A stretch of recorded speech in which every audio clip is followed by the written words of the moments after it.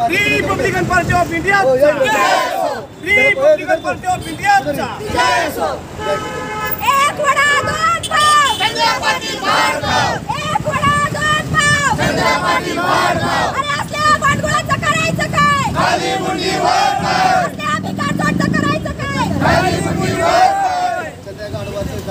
या चंद्या गाढवाचं करायचं काय खाली मुंडी वर अरे या चंद्या गाढवाचं करायचं काय खाली मुंडी वर पाटील हाय हाय चंपा पाटील हाय हाय चंपा पाटील चंद्या पाटील हाय हाय चंद्या पाटील हाय हाय एक पुढे दोन पाव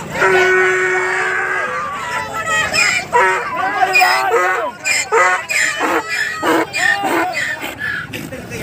एक पुढे दोन पाव चंद्रपाटी भाडगाव पुढे गेले फक्त दोन पाव चंद्रपाटी भाडगाव एक वड्यात दोन पाव चंद्या पाटील फक्त धरा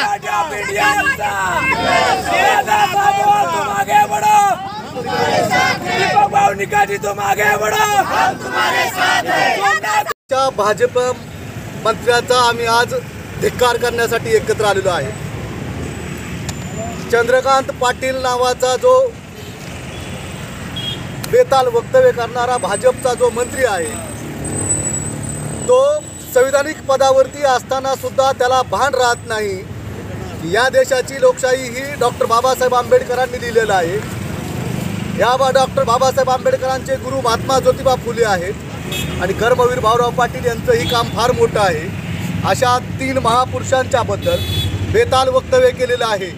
चंद्रकांत पाटील हा म्हणतोय की यांनी भिका मागून शाळा तयार केल्या त्या. परंतु चंद्रकांत पाटलाला या महापुरुषांना भिकारी म्हणण्याचा अधिकार कुणी दिलेला नाही. या चंद्रकांत पाटीलच भिकारी आहे.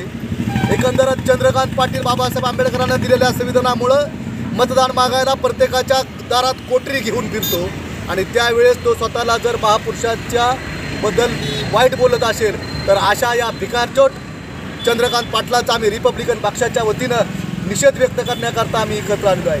येणाऱ्या काळामध्ये आमची मागणी आहे दलित नेते असणाऱ्या डॉक्टर बाबासाहेब आंबेडकरांना यांनी बेताल वक्तव्य केल्याबद्दल याच्यावरती खऱ्या अर्थाने ॲट्रॉसिटी अंतर्गत गुन्हा दाखल झाला पाहिजे. त्यानंतर भाजपच्या नेत्यांनी या भांडगुळाचा पहिल्यांदा राजीनामा घेतला पाहिजे. कारण बाबासाहेब आंबेडकर महात्मा फुले यांच्या विचारधारेवरती हा देश व्यवस्थित आणि चांगल्या रीतीने चाललेला आहे. देशाला स्वातंत्र्य मिळून सुद्धा इथं आपल्या देशामध्ये कुठल्या प्रकारची अराजकता झालेली नाही. त्याचं कारण म्हणजे एकमेव डॉक्टर बाबासाहेब आंबेडकर फुले शाहू आणि शिवाजी महाराजांचा विचार आहे. आणि याच विचाराला तिलांजली देऊन जर हे भडवे भाजपचे नेते मंडळी मागं सुद्धा राज्यपाल अशाच पद्धतीचं बेताल